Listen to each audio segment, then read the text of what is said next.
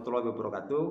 Waalaikumsalam warahmatullahi wabarakatuh. Eh, menindaklanjuti rakor beberapa waktu yang lalu, kami, saya Dewi Sutarsono, Ketua Cabang Mataram, didampingi dengan Mas Zainal, Ketua Cabang Lombok Timur, sekaligus sebagai Probabus eh, NTB. Ada juga Saudara Hafisin dari Kacap Lombok Barat.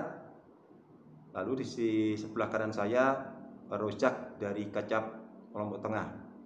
Pada malam hari ini eh, kita membahas langkah-langkah eh, penegakan hukum yang terkait dengan hak merek PSAT dan SAT.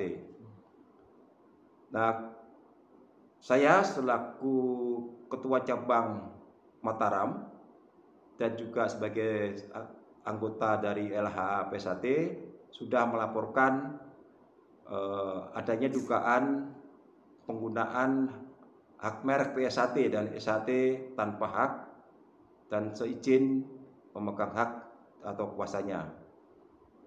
Nah, yang teradu juga sudah diperiksa oleh Polda eh, Nusa Tenggara Barat dan saat ini kita masih menunggu proses eh, pemeriksaan berikutnya.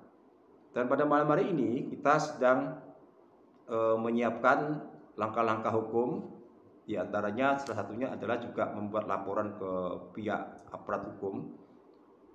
Dan dengan harapan aparat penegak hukum bisa eh, menegakkan supremasi hukum sehingga eh, persoalan yang dialami oleh persaudaraan Setia Hati Terate ini bisa diselesaikan eh, sesuai hukum. Dan kita berharap pemerintah termasuk aparat hukum bisa menegakkan eh, supremasi hukum yang terkait dengan dugaan pelanggaran merek PSAT dan Setia Hati Terate.